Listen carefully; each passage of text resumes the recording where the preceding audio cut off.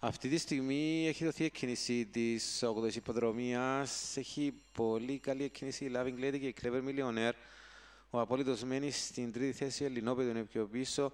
Η Everton τώρα προσπαθεί να βελτιωθεί. Η Clever Millionaire επιμένει να οδηγήσει και θα οδηγήσει από τη Loving Lady που θα ακολουθήσει δεύτερη στο 1 μήκος, στα δύο μήκη είναι ο Απόλυτος.